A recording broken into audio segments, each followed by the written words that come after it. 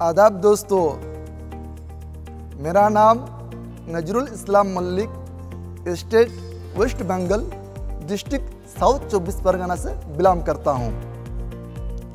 दोस्तों, गहरे से गहरे रिश्तों में भी कभी कभी मिसकम्युनिकेशन गैप आ सकता है, जिसे हमें सीधे सादे भाषा में अगर आपको समझाओ तो इसका मतलब होगा, जाने क्या, कहा तूने जाने क्या सुना मैंने। मतलब एक ने कहा कुछ और दूसरे ने समझा कुछ और। जैसे बीवी ने एक बार अपने पति को बाज़ार भेजा दाल चीनी लाने के लिए और पतिदेव आधे घंटे बाद वापस आए दाल और चीनी लेकर। अब इसके बाद आप समझ ही गए होंगे कि पतिदेव की बहुत ही खास सेवा हुई। पर दोस्तों, इसके पीछे दोष किसका था? मिस कम्युनिकेशन गैप का। जिसके हमें हमेशा खास ख्याल रखना चाहिए। और हमारे इस बिज़नेस में किसी भी तरह मिस कम्युनिकेशन नहीं आना चाहिए।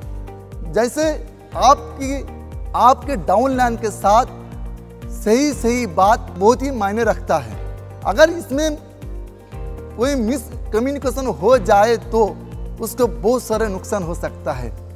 जैसे आप अपने डाउनलाइन की प्रमोशन के लिए ज़रूरी आईपी बताए कुछ और, उन्होंने समझा ही कुछ और।